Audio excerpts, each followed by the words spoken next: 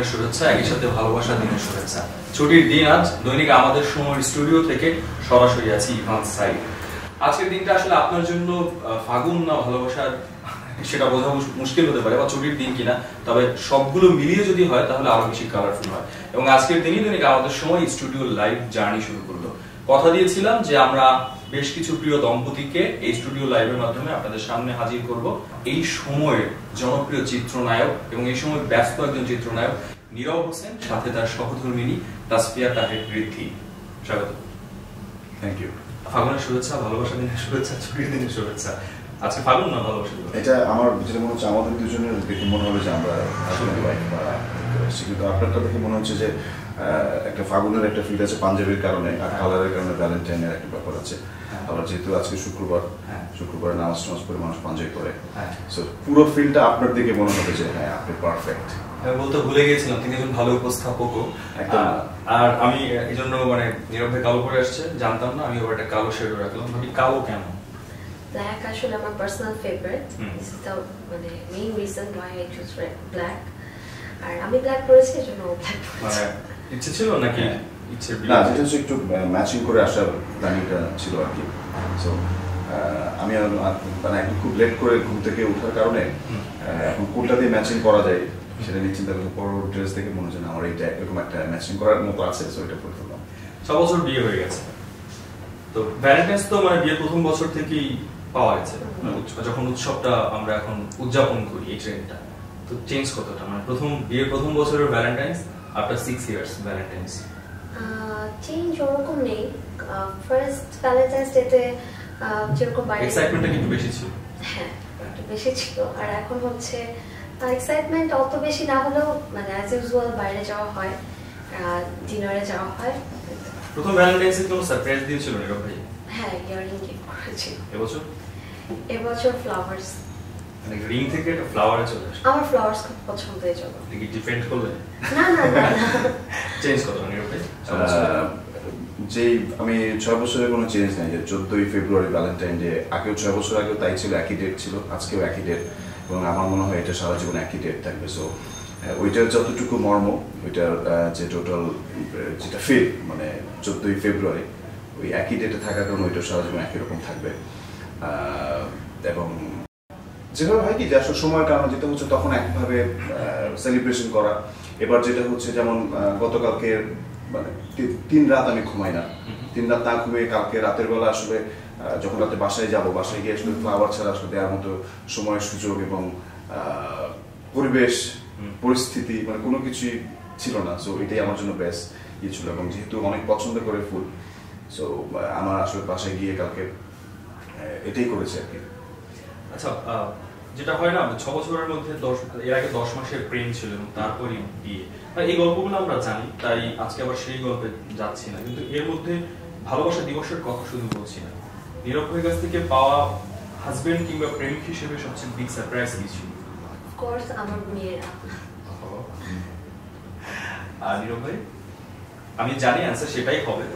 এর বাইরে কিছু আছে কিনা স্পেশাল ওটা একদম মেনে নিয়েছি আমরা। এটাই এটাই। আমার কাছে মানে এই, এটা আসলে বিগ সারপ্রাইজ এবং সবচেয়ে বড় কথা হচ্ছে যখন আমি সারাদিন শেষ করে যখন রাতে বাসায় আসি, তখন যতই টায়ার্ড থাকি না কেন, কিন্তু আমার কাছে মনে হয় যে যখন দুজন একসাথে কোলের মধ্যে উঠে বসে থাকে এবং নামতে চায় না, ওইটাই মনে হচ্ছে বেস্ট আচ্ছা আরেকটা ব্যাপার বলি যে আমরা ভালোবাসাকে নানানভাবে অনেকে সংজ্ঞা দেন, অনেক কিছু অনেকভাবে বলেন আপনাদের একটা হ্যাপি জার্নি মাশাল্লাহ এবং আমরা আশা করি যে সেটা কন্টিনিউই হবে, দীর্ঘদিন।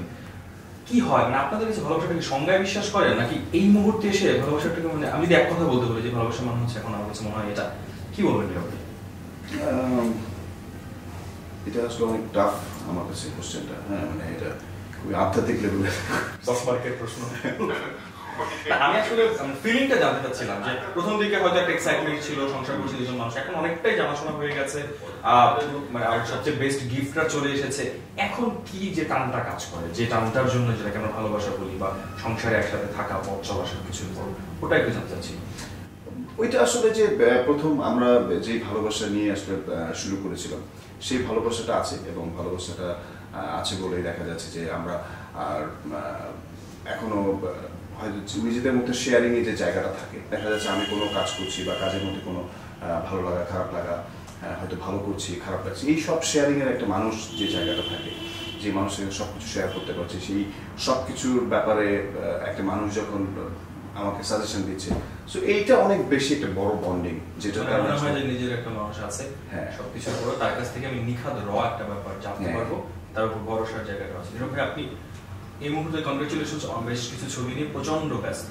হ্যাঁ এবং ভালো ভালো ছবি আছে। বিশেষ করে আমি পার্সোনালি তিতুমিরের জন্য আপনাকে শুভকামনা জানাচ্ছি, অপেক্ষায় আছি। এত ব্যস্ততা, নতুন নতুন ক্যারেক্টারের চ্যালেঞ্জ এই সব কিছুর পর আপনি ভাবিকে আসলে দিনের কতটুকু অংশ সময় দেন বা তার জন্য আপনার ভাবনাটা কি থাকে? সত্যিকার অর্থে সময় খুব কম দেয়া হয় মানে যতটুকু যতটুকু দেওয়া উচিত বা এটা দেওয়া উচিত না উচিত না এটা একদম খুবই নর্মাল একটা বিষয় এটা দিতেই হবে কিন্তু যেটা হচ্ছে সময় একদমই পাই না যেমন এই যে বললাম তিন রাত ঘুমাই না এবং একদিন বাসায় ফিরেছে রাত পাঁচটায় একদিন সকাল সাড়ে ছয়টায় তারপরের দিন রাত পাঁচটায় আবার কালকে। দুইটায় সো এরকম করে আসলে যতটুকু সময় দেওয়া উচিত দেখা যাচ্ছে আমি যখন বের হয়ে আসি ও ইউনিভার্সিটিতে ক্লাস করতে যায় তখন আমি ঘুমাই আবার আমি যখন ঘুম থেকে ই করছি তখন মানে ওরা যাওয়ার সময় পিছিয়ে দুইটা ঘুমাচ্ছে আবার যখন আমি আসি তখন দেখি ওরা ঘুমাই যাচ্ছে ও জেগে আছে আমার জন্য। কিন্তু আবার সকালবেলা দেখা যাচ্ছে ওর ক্লাস বা তারপরে ও জেগে আছে আমার জন্য। সো এই তো এইভাবে কেটে যাচ্ছে আচ্ছা ভাই একজন অভিনেতাকে ভালোবাসা কতটা কঠিন? না এটা আসলে আমার কাছে কঠিন মনে হয়। চ্যালেঞ্জিং চ্যালেঞ্জিং না কিছু কিছু ইস্যুস আছে যেরকম মানে অনেক ক্ষেত্রে ট্রাস্ট ইস্যুস চলে আসে। আমাদের ক্ষেত্রে সেই মানে সমস্যাটা নেই। মানে ও আমার সাথে খুব বেশি ট্রান্সপারেন্ট আমি যখন যেটা জানতে চাই তখনই সেটা সে আমাকে এক্সপ্লেন করে। সো মানে ওই মিনিমাম প্রবলেমটা ছাড়া আমরা সেরকম কিছু ফেস করি না। আর অভিনেতা হিসেবে যে মানে আমি স্ট্রাগল করছি ওর সাথে থাকতে এমন কিছু না। অন্য প্রফেশনের থ্রুতে অন্য কাউকে আমি বিয়ে করতাম। আমার কাছে একই রকম লাগে। যে কাজের সময়টা কোনো কমপ্লেইন আছে? যে সময়টা একটু কম দিতে পারছে বা এই ব্যাপারটা নিয়ে আপনার কোনো কমপ্লেইন বা কিছু আছে? না কমপ্লেন বলতে মাঝে মাঝে একটু খারাপ লাগে। কিন্তু আসলে আমি তো দেখি যে ওর আসলে কিছু করার নেই। ও আসলেই বিজি থাকে। আচ্ছা আমি দুজনের কাছে আমি আবার আজকে করতে করতে আমি বললাম যে আমি একটা কাজ করব তুমি আমার সাথে পরে যেদিন তোমার সেমিস্টার ব্রেক থাকবে। সাত দিন সকাল থেকে আমার সাথে যাবা এবং সাত দিন আমার সাথে থাকবা তুমি। থাকার পরে দেখবা। হ্যাঁ। না আপনার কাজের সাথে স্বাধীন থাকবে। হ্যাঁ মানে কাজ না। কাজ থাকুক না থাকুক মিটিং থাকুক যেটাই থাকুক মানে আমার সাথে সাত দিন থাকবে। থাকবে যে আমি কি অবস্থায় থাকি? যে আমি। সিচুয়েশনটা আসলে কি ব্যস্ত থাকতেছি বা নাকি উদয় আড্ডা মারতেছে গল্প করতেছে তা না। ওকে বলছে আমি তুমি কিন্তু ফোনে মানে ও আবার আইডিয়া দিছে ও ফোনে হেডফোন নিয়ে তারপর যাবে। আমি প্লিজ হ্যাঁ সেটা ঠিক আছে। আচ্ছা আমি দুজনের কাছে একটা কমন প্রশ্ন রাখছি। দুজনে উত্তর দেওয়ার জন্য কিছুটা সময়ও দিচ্ছি। তার আগে আমি কিছু কমেন্ট করব। প্রশ্নটা হচ্ছে এই যে একসাথে জার্নি, ওই আগের ভালোবাসার যে দশ মাস, তারপর ছ বছর, সবচেয়ে বেস্ট মুভমেন্ট কোনটা ছিল? এই প্রশ্নটা উত্তর একটু ভাবার জন্য সময় দিচ্ছি? তার আগে আমি একটু দর্শকদের কমেন্টগুলো করি। দুজনের কাছ থেকে উত্তরটা চাই। আমাদের সাথে অনেকে জয়েন করেছেন। তারা আপনাদের দুজনকে শুভেচ্ছা জানাচ্ছেন। প্রচুর মানুষ ভালোবাসা ফাগুনেরও শুভেচ্ছা জানাচ্ছেন। নীরব ভাইয়ের জন্য শুভকামনা আছে আপনার ছবিগুলোর জন্য। ভাবিকে সুন্দর লাগছে? মার্শাল্লাহ আমিও এটা বলতে চাই। আপনার জন্য কমেন্ট রয়েছে। আচ্ছা আবুল হাসান হৃদয় রয়েছেন বসন্ত দিনের ভালোবাসা। অলমোস্ট এগুলোই কমেন্ট আমি নামগুলো বলে যাই। মাসুদ পারভেজ রয়েছেন আমাদের সুমন রাহাকে দেখতে পাচ্ছি দেশের বাইরে থেকে সিঙ্গাপুর থেকে কিছু দর্শক জয়েন করেছেন। রিমন তালুকদার রয়েছেন আরও অনেকেই। আপনাদের কোনো প্রশ্ন থাকলে দর্শক সেই প্রশ্নটিও করতে পারেন। আমি কিন্তু এই দুজনের কাছে সেই প্রশ্নটি রাখতে পারি আপনাদের হয়ে। উত্তরটা একটু চাই। না আমি আসলে আমার মেয়ের প্রথম যে জন্মদিনের মানে যে ওর যে জন্ম সো ওই দিনের কথা বলব যে আমরা তেইশে মে থেকে রাতে বেলা যখন যাই, ওর জন্ম চব্বিশ মে। এবং আমি ডক্টরের সাথে কথা বলে আমি ইয়ের মধ্যে ছিলাম ওটিতে ছিলাম। সো একদম যে ইয়ের সময় ওখানে একটা শেড দিয়ে আমি আর ও বসা ছিলাম। But ওই সময়ে যখন আমার মেয়ে, বড় মেয়েটা যখন চিৎকার কেঁদে ওঠে ওইটা আমার কাছে মনে হয় যে আমাদের দুজনের বেস্ট মোমেন্ট এই যে মুমেন্টের কথা বলব এই সময় একটা মেয়ের কি অনুভূতি হয় সেটা তো আমাদের পক্ষে জানা কোনোদিনই সম্ভব না। একটু ভেবে শুনতে চাই ওই সময় নীরব ভাইকে আপনার এই যে পাশে থাকা মানে ওই সময় আপনি আপনার ভিতরে নীরব ভাইয়ের প্রতি ফিলিংটা কি ছিল? আমার ফিলিংটা যেটা ছিল আমার সাথে আমার মা আসতে চাচ্ছিল। আমি বলেছি যে না ও আসুক। আমি জানি যে ওই মোমেন্টে ও যদি আমার পাশে থাকে আই ফিল মানে আই ফিল বেটার। তো trust me this is love তো আমি খুব ভয় ছিলাম আমার মানে অপারেশন টেবিলে ও হচ্ছে আমাকে আমার মাইন্ড ডাইভার্ট করার জন্য অনেক ট্রাই করছে এটা সেটা বলছে। তো হ্যাঁ এটা আমার জন্য one of the best moment আরেকটা হচ্ছে সেটা হচ্ছে আমি আমার যেদিন বিয়ে হয় ওর সাথে সে তার মেবি ওয়ান আওয়ার আগে আমি শিওর ছিলাম না যে আমি আসতে পারব কিনা। তো আমি যখন গাড়িতে এসে ওকে দেখলাম অ্যান্ড আমি যখন শিওর হলাম যে না আমাদের বিয়েটা হচ্ছে ফাইনালি ওইটা আমার লাইফের একটা best moment this two are the মানে most precious moment of my life ভালোবাসার কথা বলব ফাগুনের কথা বলব উৎসবের কথা বলব ঝগড়ার কথা বলব না এটা তো হয়। আর সংসারও ঝগড়া ছাড়া হবে না। একদম সর্বোচ্চ লেভেলের ঝগড়াটা কি ছিল? ওই যে মাত্রই কিছুক্ষণ আসার সময় বলছিল যে আমার মোবাইলটা ভাঙছো ভাঙছো এটা কেন ভাঙছো যে ইউজ করার মতো না? মানে মানে মানে কে কার মোবাইল মানে আমরা একই দিনে আচ্ছা। আমরা দুইজন পাঁচটা মোবাইল ভাঙছি। মানে আমার তিনটা না দুইটা ছিল ওর তোমার দুইটা আমার তিনটা। ঝগড়াঝাটি করে? হ্যাঁ। হ্যাঁ। ফার্স্ট আমি ভেঙেছি একটা ও একটা ভেঙেছে আমি আবার একটা ভেঙেছি ও আবার একটা ভেঙেছে। এরপর থেকে আমরা মোবাইল ছাড়া। এরপর থেকে আমরা গরিব হয়ে গেছি আমরা মোবাইল ইউজ করতে পারি না। কোন কোম্পানিজ আচ্ছা তারপর মানে এই ভাঙায় রাগ কমে গেছে এরপর মানে এটা এত বিধ্বংসী একটা ব্যাপার কখন ঠিকঠাক হলো? মানে না আমাদের আসলে ওরকম খুব যে আমি ঠিক করি বা ছিল- তো কোনোদিন না। সবসময় আমি ঠিক করি। না তোমার যখন মানে আমার যখন দোষ থাকে আমিও গিয়ে সরি আচ্ছা ভাবিকে খুব বেশি আমরা পাবলিকলি কথা বলতে দেখি না এরকম প্রচুর কমেন্ট আছে মিষ্টি ভাবে সুইট ভাবে ভালো লাগছে। আহ, কেন দেখি না ভাবি তার সবচেয়ে বড় রিজন হচ্ছে আমি খুব প্রপারলি মানে গুছিয়ে কথা বলতে পারি না। নাকি নিয়ে আসে না না। কোথায় দেখ মানে কোথায় দেখার কথা বলছে এটা বলছে না, না, শুটিং না, না, নায়িকা হিসেবে দেখতে চাই আহ, হ্যাঁ, please, এটা good question from, আহ, নীরব ভাই। নায়িকা হিসেবে কেন দেখেন এটাও বলতে পারেন হ্যাঁ। মানে সে- তার প্রশ্নটা ক্লিয়ার না। এখানে যেটা মিন করেছে সেটা হচ্ছে যে বিভিন্ন অনুষ্ঠানে বা বিভিন্ন জায়গায় একটু কম দেখা যায় আর কেন সেটা। আচ্ছা সেই কথাগুলোর পাশাপাশি একটু আরেকটু কথা বলি যে ভালোবাসা নিয়ে অনেক ধরনের কথা আমরা শুনি। এবং এই সময়ে আহ, ভালোবাসার কথা বললেই এমন ধরনের নিরপেক্ষ স্বীকার করবেন কিনা আমি জানি না। ভালোবাসা বলতে কমপ্লেন বোধ হয় বেশি। এই জেনারেশনে আমি তো এই জেনারেশনে ডেফিনেটলি বা আরও যারা আছে, একটা স্বীকার করছি মানে এই যে ফেসবুকে হুটহাট পরিচয়, তারপর সেটা না থাকা প্রচুর ব্রেকআপের গল্প, এমনকি সংসার প্রচণ্ড ভালোবেসে হয়তো দুটো মানুষ সংসার করছে, সেটাও কোনো কোনো ক্ষেত্রে খুব বেশি দিন স্টে করছে না। এগুলো নিয়ে একটু কথা বলা হ্যাঁ, উচিত। এটা এটা আসলে এটা হয়। কারণটা হচ্ছে যে আমি সেদিন ওই যে ও একটা জিনিস শেয়ার দিল। প্রত্যেক পঞ্চাশ মিনিটে হ্যাঁ। প্রত্যেক পঞ্চাশ মিনিটে। এই জিনিসগুলো মানে খুবই প্যাথেটিক এবং আহ, এটা মানে নর্মাল চিন্তা করেন। আপনি মনে করেন প্রত্যেক পঞ্চাশ মিনিট আপনার আমরা যে সময়টা যে একজন একজন ডিভোর্স হয়ে যাচ্ছে হ্যাঁ। আর এই যে ফেসবুক এগুলো যে সোশ্যালিজম এবং যে মডার্নাইজ আমরা যেভাবে হচ্ছি মানে কেউ কাউকে ই করে না। মানে ওর কাছে মনে হয় আমি হচ্ছে বড় মানে আমি হচ্ছে বড় মনে করে যে ও আমার পাত্তা দেওয়া বলতে পাত্তা দেওয়া রেসপেক্ট করা respect জায়গাটা। তারপরে এটাও টাফ সত্যি কথা যে যেমন একটা ও সারা জীবন আমার সাথে বিয়ের আগে যে ফ্যামিলিতে বড় হয়েছে ওর বাবা মা ভাই যেভাবে বড় হয়েছে আমার সাথে এসে থাকা কিন্তু ওর জন্য টাফ আবার আমিও দেখা যাচ্ছে আহ, একটা মানুষ অপরিচিত একজন মানুষের সাথে রিলেশন করে তারপর বিয়ে করছি। কিন্তু এত টাইম এত বছর একসাথে রিলেশন রেখে ভালোবেসে যাওয়াটা মধ্যে ঝগড়াঝাটি মানে কম্প্রোমাইজ কনসিডার করেই চলতে হয় আসলে। মানে এমন না যে সব কিছু মিলে যাবে এমন না যে সব কিছু ওর সব কিছু আমার ভালো লাগবে আমার সব কিছু ওর ভালো লাগবে। বাট এগুলোর মধ্যে থাকবেই কিন্তু তারপরে যতটুকু ইয়ে করা যায় আর কি। ভাবে একটা সিক্রেট রেসিপি জানতে চাচ্ছেন জুবাইর আহমেদ। ট্রাস্ট বা সংসারের ব্যাপারটা ধরে রাখার জন্য আহ, কোন সিক্রেট রেসিপি আপনি বলবেন আমার কাছে মনে হয় ট্রান্সপারেন্সিটা অনেক বেশি ইম্পর্ট্যান্ট যে পার্টনার কি করছে বা কার সাথে মিশছে বা কোনো কোনো কনফিউশন ক্রিয়েট হলে সেটা ক্লিয়ার করা এটা সবচেয়ে বড় বিষয় আমার মনে হয়। তা মানে পার্টনার যে যে মানে যে প্রফেশন বিলং করুক না কেন ট্রান্সপারেন্সিটা আমার মনে হয় সবচেয়ে বেশি ইম্পর্ট্যান্ট অ্যানাদার ভেরি বিউটিফুল প্রশ্ন ভাবি প্রথমবার ভাইয়াকে কি রান্না করে খাইয়েছে?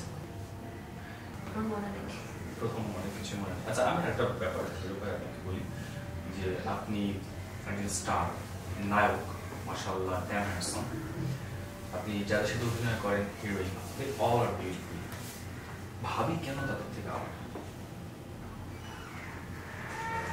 ওরা তো আহ, নায়িকা এবং এটা তো আহ, আমার প্রফেশন আমার প্রফেশনটা ব্যাপারে আমি অনেক বেশি ডেডিকেটেড এবং প্রফেশনাল ব্যাপারে আমি অনেক বেশি আলাদা করে রাখি। কারণ হচ্ছে যখন আমি এটা মেনেই নেই যে আমি যখন ছবিটা করছি, ওর সাথে আমার একটা ওই অল্প সময়ের মধ্যে যতটুকু কেমিস্ট্রি যতটুকু দরকার, অতটুকু ই করা। এবং এই প্রফেশনালিজমের জায়গাটা আমি অমিতাভ পেজার কাছ থেকে শিখেছি। যে আমি যখন একটা বিজ্ঞাপন করি সে আমাকে নিয়ে অনেক কথা বসে থাকবে যে একটা তিরিশ সেকেন্ডের মধ্যে তোকে এই করতে হবে। তুই একটা গল্প বলতেছিস, একটা চোখের ইশারায় একটা মুখের কথায় এই অনেক কিছু বলতে হচ্ছে। সো ওই প্রফেশনালিজমের জায়গা থেকে যখন আমি একটা সিনেমায় নায়িকার সাথে অভিনয় করছি সো ওই সময়ের মধ্যে আসলে অতটুকুই। কিন্তু এটার বাইরেই আসলে আমার life। ইনভলভ করা আফটার দ্যাট আমি আর আপনি যদি মনে করেন টাইমিং এর ব্যাপারে চিন্তা করি আমার সকাল থেকে যে শুটিং এর ডিউরেশন সেই ডিউরেশন হচ্ছে বড় কথা হচ্ছে আমি রাতে বাসায় থাকতেছি কত সময় ওই ডিউরেশনটা অনেক বেশি সো বই সব। আচ্ছা আর ভাবি আরেকটা ব্যাপার একটু বলি যে আপনার এটা কমন প্রশ্ন তারপর আমি যে প্রশ্নটা করি যে কখনো এরকম মনে হয়- হয় কিনা বা কখনো একটু ক্লান্তি লাগে কিনা যে সময় দিচ্ছে না এত ব্যস্ততা সব আপনি মেনে নিচ্ছেন। আমার মনে হয় যে মেনে নেওয়ার পাল্লাটা আপনার দিক থেকেই বেশি এবং সেটা হওয়ারই কথা। এরকম হয়েছে কিনা এখন? প্রচণ্ড ক্লান্ত হয়ে গেছে। আমি তো একটু সময় চাই। আমার জন্য একটু আলাদা করে ভাবুক। আমি বলার আগে বুঝুক না, সেটা আসলে হ্যাঁ হয়েছে আমার প্রেগন্যান্সি পিরিয়ডে বাসায় একদম থাকতাম। আমার মাও জব করেন। তো আমি আসলে না ওই সময়টা কোথাও মানে ওর থেকে বা আমার প্যারেন্টস থেকে কারোর কাছ থেকে সময় পেতাম না। ওই সময়টাই মনে হতো যে মেবি অন্য প্রফেশনে কাউকে বিয়ে করলে সে আমাকে টাইম দিতে পারতো। হ্যাঁ কিন্তু এই যে ফ্রাইডে স্যাটারডে তার একটা ভ্যাকেশন থাকতো। বাট না ওটা আসলে টাইমের সাথে সাথে যখন দেখেছি আসলে ওর অল্টারনেট ওয়ে নাই। ও আসলে অনেক চেষ্টা করে সময় দেওয়ার। তারপর তখন থেকে আর কি কমপ্লেনটা ওরকম ভাবে নেই এখনও আছে এখনও প্রায় বলি যে সময় দাও না সময় দাও না। এটাই আমাদের মেইন মানে ওর সাথে আমার প্রবলেম হয় এটা নিয়ে বেসিক্যালি ভালোবাসার সাথে সময় দেওয়ার একটা বড় ব্যাপার রয়েছে। আমরা আমাদের অনুষ্ঠানের অলমোস্ট শেষ দিকে আর একটু বেশি সময় কথা বলতে পারলে ভালো লাগতো। তার আগে ধরেন নীরব ভাইয়ের এখন একটা চরিত্র, সে আলাদিনের দৈত্য। এই দৈত্যের কাছে আপনি তিনটে ইচ্ছে জানতে মানে তিনটে ইচ্ছে পূরণ সে করতে পারে তো সেই ব্যক্তি জীবনে যাকে ভালোবাসেন এবং যে আপনার জীবন সঙ্গী যে পার্টনার তার থেকে বড় দৈত্য তো আর কিছু হয় না। আলাদিনের দৈত্য যদি বলি তিনটে ইচ্ছের কথা আজকে একটু মনে করে বলুন। যে তিনটে ইচ্ছে এখনও পূরণ হয়নি কিন্তু তার কাছ থেকে আপনি চান যে পূরণ হোক। আচ্ছা। ফার্স্ট উইশ হবে হচ্ছে আমরা বিয়ের পরে সেভেন্টিন ডেজ আসলে একদম পলাতক ছিলাম। সো ওর আর আমার রিলেশনের আমার মনে হয় মানে আমাদের রিলেশনশিপের টেন মান্থস অ্যান্ড বিয়ের এখন five years done and six years running এর মধ্যে ওই টাইমটা হচ্ছে বেস্ট সময়। তো পলাতক আমি- সময়টা হ্যাঁ। কারণ হচ্ছে আমার কাছে ফোন ছিল। এটা তোমার দত্তের গল্প হলো বহুবার বলছো আমাকে। সে ওই তো, বলছে, না, চাইছে কি? শুনি, ওই চাইছে তো, কি? বিশ চাইছে কি জিজ্ঞেস শুনি? ঠিক আছে। wish। সো ওই জায়গা থেকে আমি ওকে বলব যে ওই সেভেন্টিন ডেজকে এক্সটেন্ড করে one month or two months করতে আবার আরেকবার। আর আরেকটা হচ্ছে যদিও সেটা আসলে খুব উইয়ার্ড হয়ে যাবে। ও আমাকে আর পাঁচ বছর আগে বিয়ে করলে ভালো হতো। মানে পাঁচ- পাঁচ ছয় বছর আগে। যদিও তখন আমার বিয়ের বয়স হয় নাই। এটা একটু জানতে ইচ্ছে করছে মানে কেন বলা না আর একটু বেশি টাইম আর তো বেশি ও। আর থার্ড কোনো উইশ থার্ড উইশ হচ্ছে এখনকার সমসাময়িক যে একটু যদি টাইম আর একটু বের করতে পারতো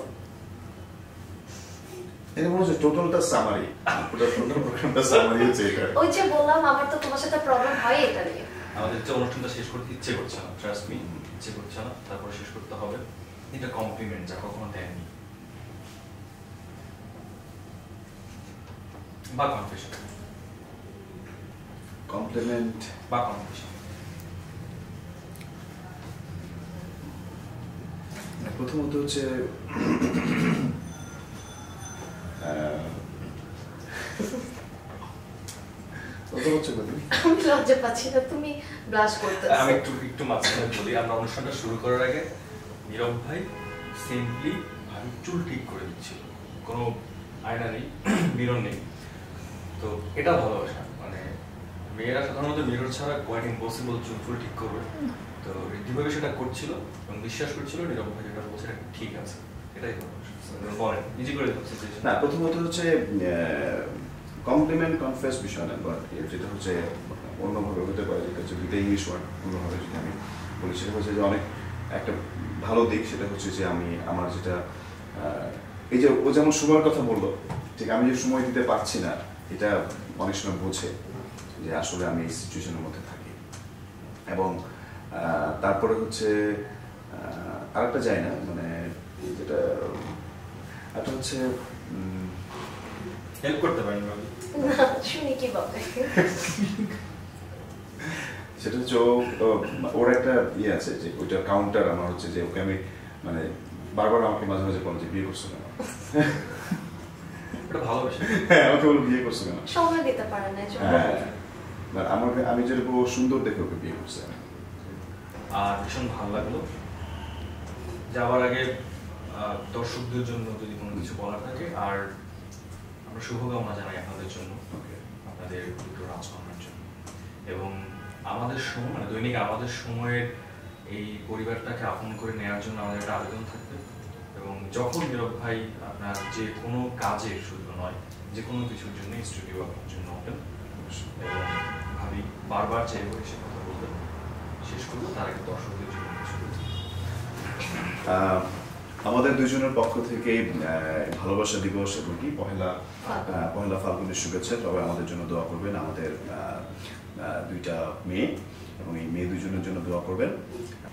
পহেলা ফাল্গুনের শুভেচ্ছা সবাইকে। অনুষ্ঠানটা দেখার জন্য অনেক বেশি থ্যাঙ্কস অ্যান্ড আমি আসলে খুব গুছিয়ে কথা বলতে পারি না। সবার মানে বসন্তের প্রথম দিন সবার ভালো কাটুক ভালোবাসায় কাটুক। ভালো থাকবেন সবাই। দর্শক, বুঝতেই পারলেন যে আসলে এই ছোট্ট একটা আড্ডার মধ্যে ভালোবাসার অনেকগুলো ব্যাপার কিন্তু ছোট ছোট খুনসুটি টক ঝাল মিষ্টি ব্যাপারগুলো চলে এসেছে। আমরা শুভকামনা জানাই এই দম্পতির জন্য এবং আপনারাও যে যার ব্যক্তি জীবনে ভালোবাসা নিয়ে ভীষণ রকম ভালো থাকেন। আপনারা নিশ্চয়ই আমাদের সাথে থাকুন। হ্যাপি ভ্যালেন্টাইন্স ডে ফাগুন শুভেচ্ছা।